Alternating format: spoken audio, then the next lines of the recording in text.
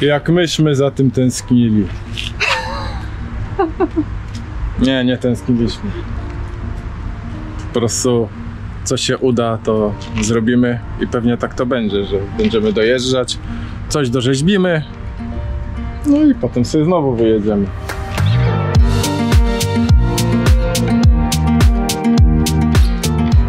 Ale plan jest taki, żeby ten biały płat zamienił się w czarną przezroczystą szybę, która nada więcej światła w środku w samochodzie.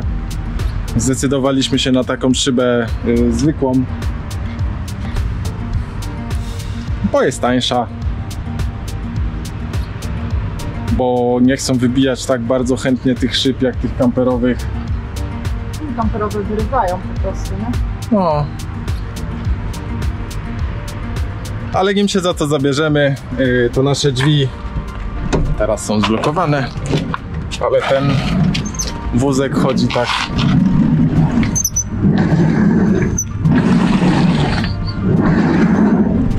Jeden z naszych fanów pod, w komentarzu dał nam yy, adres namiary na rolkę. Kupujemy, kupiliśmy rolkę z nowszego modelu samochodu, także ta rolka z nowszego modelu zagości. Miejmy nadzieję, że będzie lepiej chodziło i od tego zaczynamy robotę. Rolka, którą tym razem założymy to jest roll PCF CN, nie, PC, PFCN C08 podobno dobra jakościowo jak założymy, to coś powiemy. Zobaczcie, jaka Ela zadowolona, że może sobie pracować w busie. Ona to już marzyła o tym, żeby tu poprawki robić. Jedynie co mi mobilizuje, że już niebawem jedziemy z domu. A tak wygląda blat. Trochę się wyłódczył. Właśnie, nie wiem co teraz I tu a propos tego blatu i w ogóle zlewu, nie wspominaliśmy wam o tym wcześniej, ale doszliśmy do wniosku, że y, ten zlew jest gówniany.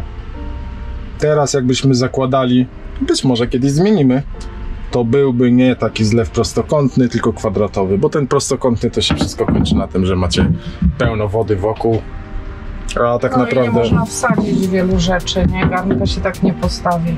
No, ale no, najbardziej irytujące jest to, że wszystko jest zalane tak naprawdę wokół, nie? Ale ja nie wiem, czy jakby był kwadratowy, czy to by się zmieniło. No nie wiem, w sumie. Korzystając z tego zlewu już nie w kamperze, tylko w... Gdzieś tam byliśmy u kogoś i, No i, i u Klaudii. no, i zmywałem naczynia i było dokładnie to samo co w kamperze. Także lepiej iść w kwadratowy. Spuchu. Tak jak i ja. Rodzinny, myślisz?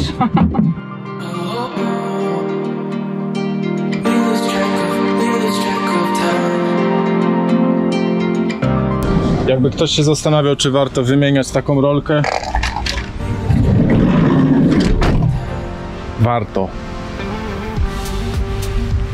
Żadna do tej pory, którą kupowaliśmy, nie działała w ten sposób.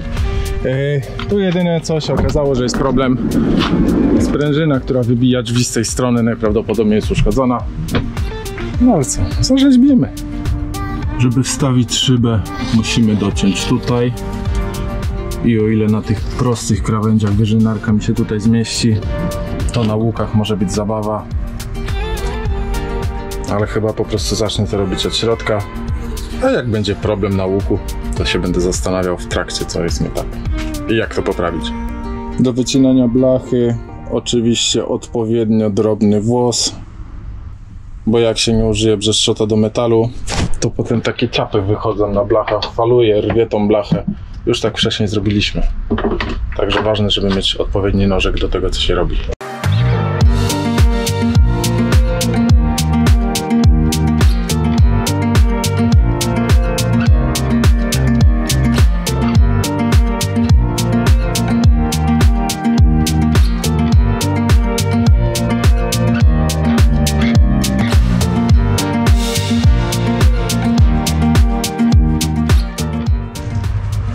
Otwór wycięty, zeszlifowany. Teraz tutaj na tą krawędź musimy nałożyć jakiś lakier. No i później na tą uszczelkę. Tylko jest problem, bo nie mamy uszczelki. W sumie mamy, ale nie w tym rozmiarze. A szyba musi zostać wklejona, bo nie zamierzamy tutaj spać. Chyba, że Ela będzie spała. Ja nie. Bez okna? A jak przyjdzie jakiś zbój i je napadnie? No to ja mu nie wróżę sukcesów. Mm, wspomnienia. Zdecydowanie nie jesteśmy wprawieni. Mamy taki pędzel. Wszystko gdzieś się zapodziało. Nic nie można znaleźć. No cóż.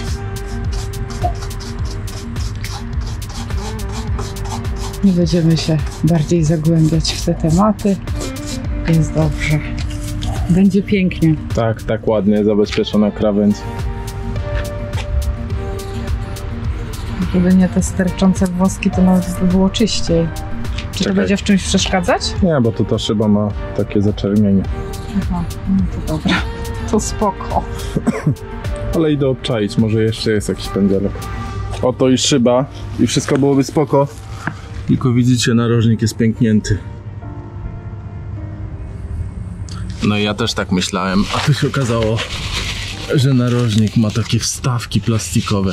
Ale co się osrałem i zestresowałem, to moje. Nie chciałeś spać w busie, przy otwartych drzwiach? No średnio by to wyglądało. Jeszcze byśmy cię w centrum miasta postawili, żebyś miał blisko do domu. No i tutaj już krawędź zaczapkana. I teraz tu po obwodzie damy klej. No i co, jak nie ma tej odpowiedniej uszczelki, to trzeba coś zarzeźbić, nie? Ja nie wiem, czy wszyscy tak mają, czy tylko my. Czy to okno miało być chwila, moment zamontowane. Jak nie ma pistoletu, to nie ma uszczelki. Po prostu ręce opadają. Wcale nie dziwię, że nie marzę o kolejnej budowie. A do wklejania kupiliśmy taki klej. No i do tego kleju jeszcze jest taki podkład. I ten podkład będziemy nakładać i tutaj, i tutaj na szybkę. No i oczywiście przed nałożeniem primera na szybę trzeba ją odtłuścić. Izopropanol akurat mamy. Także tym będziemy czyścić.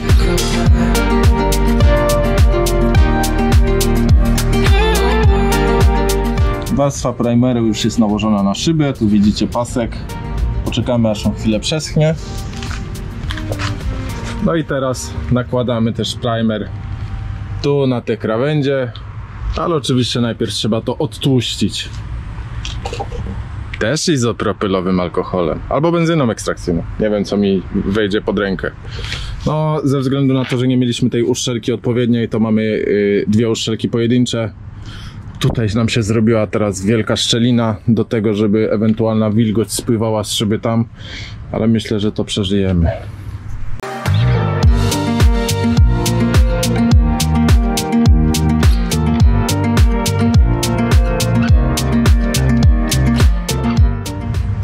Primer nałożony.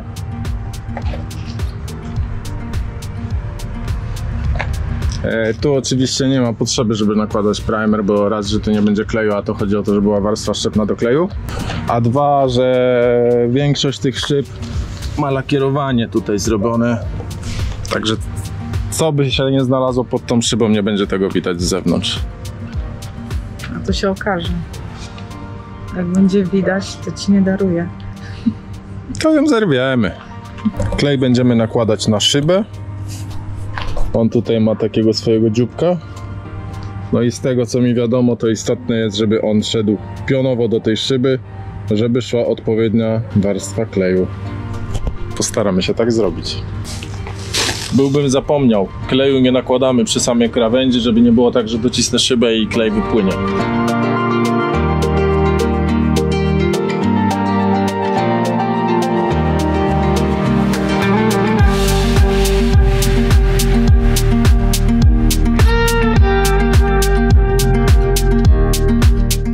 Etap wklejenia się powiódł. Nie wiadomo jak długo to wytrzyma. Miejmy nadzieję, że tutaj nic nie odleci, nie odpęknie. Koszt szyby z przesyłką 400. primer z klejem okolice 80 zł, w zależności od tego jaka chemia gdzie kupiona. My w sumie kupiliśmy dwa kleje, bo bo żeby nie zabrakło, nie? Żeby nie zabrakło. No jednego już, już w takim miejscu akurat kupiliśmy tu na miejscu, że nie ma możliwości zwrotu, yy, także nas wyszło 120 zł. Tak swoją drogą to dziwne, że nie ma możliwości zwrotu. No bo to jakoś, nie wiem. Dziwnie jak się coś na miejscu kupi i potem mówią, że się nie da zwrócić. A człowiek przyzwyczajony, że wszystko się zwraca. E, w każdym bądź razie po tym jak już kupiliśmy szybę, kupiliśmy chemię, to tak zadzwoniłem z ciekawości jaki jest w ogóle koszt ustawienia takiej szyby. To mi powiedzieli, że to jest 800 zł z szybą, E, a samo wstawienie szyby 250 zł. Tylko teraz ja nie do końca wiem, czy się, być może się nie do końca dobrze roz... być może nie do końca dobrze się dogadałem z e, firmą, do której dzwoniłem, bo oni może myśleli, że chodzi o samo wstawienie szyby, która na przykład pękła, a nie wycinanie otworu. No w każdym bądź razie, tak myśleli. w każdym bądź razie oni powiedzieli za to 240 zł. Może zadzwonię, dopytam. E, Jeżeli za 240 zł ktoś stawia ze swoimi wszystkimi materiałami, z uszczelkami i z tymi wszystkimi rzeczami, e, no to się nie opłaca tego robić samemu. Więcej stresu to kosztuje niż No. się pojechało. Chociaż no teraz nam łatwo powiedzieć, tak? Bo trzeba zrobić jedną szybę, a jak tych szyb jest do wstawienia trzy, lista rzeczy do kupienia się nie kończy, no to wtedy wiadomo, że każda stówka ma znaczenie. No ale co? Oby się trzymała. Chcesz coś dodać? Nie. Cieszę się, że jest. Będę miała widok. Tu na pewno jeszcze dojdzie jakaś roleta do środka. E, No bo chcemy mieć tak zrobione, żeby, żeby po prostu nie było widać śladów naszego bytowania, kiedy jesteśmy w samochodzie i kiedy nas nie ma. Także coś tutaj trzeba jeszcze będzie zakombinować, ale to będziemy pokazywać na bieżąco. No i kolejnego dnia okazało się, że szyba się trzyma. Jeszcze ten, trzeba ten podklejać tę taśmę, bo może jak się puści taśmę, to się nie będzie trzymać. E, no już, Myślisz? już się trzyma. Już nie odleci. Od środka wygląda to w ten sposób. No, na pewno dużym plusem jest to, że jest jaśniej. Co do skraplania zobaczymy. Jeżeli się okaże, że będzie się tutaj dużo skropień zbierało, to założymy na to zewnętrzną szybę, po prostu wkleimy jakieś yy, plexi. To wtedy powinno pomóc, ale na ten moment to wydaje mi się, że będzie ok. Fajne jest to, że tu jest na pewno dużo więcej światła. Jakąś tylko roletę musimy wykombinować, żeby, żebyśmy się po prostu mogli odsłonić od zewnątrz. No i też y, wiadomo, ze względu na temperatury, bo ta szyba na pewno będzie dużo więcej ciepła przepuszczała do środka do samochodu. Ja co prawda przewody do kamery już sobie wcześniej puściłem, no ale trzeba ją tutaj zamontować, wszystko na górze zrobić. No i przy okazji nie działa nam w ogóle podświetlenie tablicy rejestracyjnej. No nic dziwnego, te kostki to w sumie gnuje, to miałem też już zrobić, ale nie zrobiłem. Najprawdopodobniej cała wiązka jest uwalona. I co tutaj jest istotnego, to to, że trzeba sobie zrobić miejsce i je trzymać żeby nie było sytuacji, w której właśnie trzeba coś zrobić, a to będzie zabudowane. Jak pamiętacie, Ela takie boczki rzeźbiła. Także w tym przypadku nie było to problemem, no ale warto mieć to na uwadze, żeby sobie kuku nie zrobić. A jak się tak dobrze przyjrzeć i rozwalić izolację, to widać, że poprzedni właściciel już tutaj naprawiał. Całe to zgnite. Kostek się nie da samych kupić, także to po prostu poleci na śmietnik, tu wstawię nowe przewody. Bo taka dedykowana instalacja do podświetlenia tablicy rejestracyjnej z tyłu w Ducato to jest okolice 150-170 zł. No, na kawałek kabla szkoda kasy. Takie radosne druciarstwo zrobiliśmy, ale co najważniejsze, efekt osiągnięty świeci. Pierwszą wersją kamery miała być ta, taka tutaj dokładana, nawet ją mamy. No ale jak widzicie, lampka już na początku nie wytrzymała trudów demontażu. Dlatego zostanie zastąpiona czymś takim. 130 zł taki wynalazek na Allegro. Także w sumie cena jak z AliExpress. No mam nadzieję, że to się będzie jakoś w miarę spisywało. Na szczęście porównania z innymi kamerami nie mam, także jaki obraz dostaniemy, to już i tak będzie dobrze. Będziemy robić teraz grilla. Będziemy robić. Jedno robi, drugie patrzy i nagrywa. Mało ma roboty. Ktoś musi robić. Tak, żeby ktoś mógł leżeć. Wieje wiatr.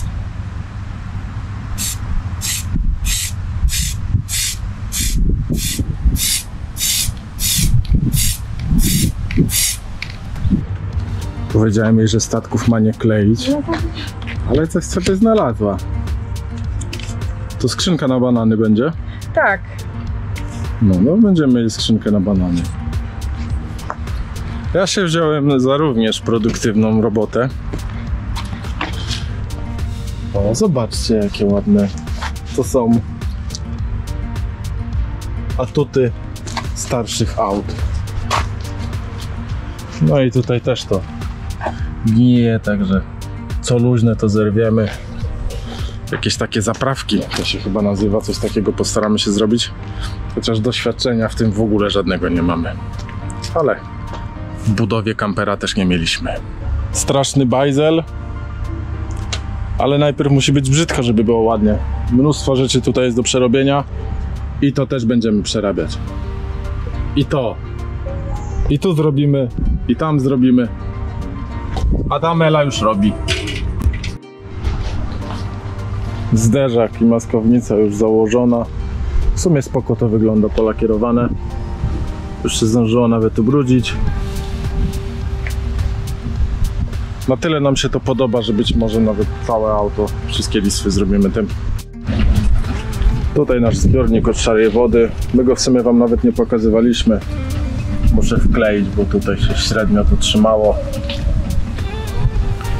Zbiornik do szarej wody montowaliśmy w Hiszpanii na plaży.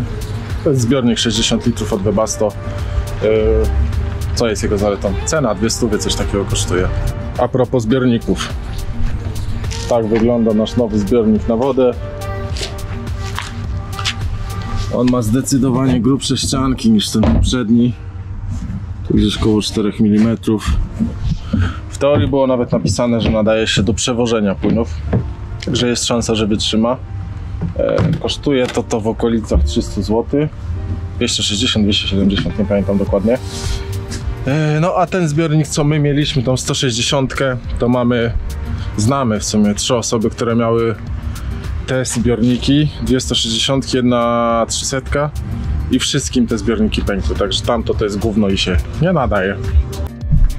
Kamera cofania jest tutaj. Sumie to nie wiem, czy się zepsuła, czy coś tam takiego jest.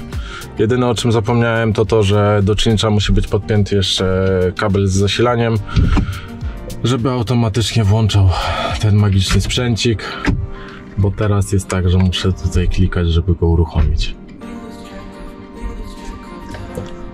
Także będzie to do przerobienia. Już się bałem, że kamera do wymiany, a tutaj po prostu drzwi na nią nachodzą. Tutaj walczymy z elektryką. Ale elektryka to jak wiecie ciężki temat, cały czas mamy boje. Mamy prawie zrobiony fronty, nie? To znaczy front mam na myśli wejście. w końcu.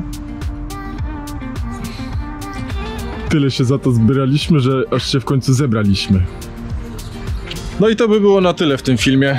My sobie dłubiemy dalej. A jeżeli chcie, zechcielibyście zobaczyć na żywo nas, Dukata, to zapraszamy w najbliższy weekend do strefy podróżnika na targach pod Warszawą w Nadarzynie Camper Caravan Show. Też tam będziemy. I kotka Miałka też tam będzie. Także zapraszamy. Dziękujemy, że byliście z nami i do zobaczenia, być może na żywo. lub w kolejnym filmie. Cześć!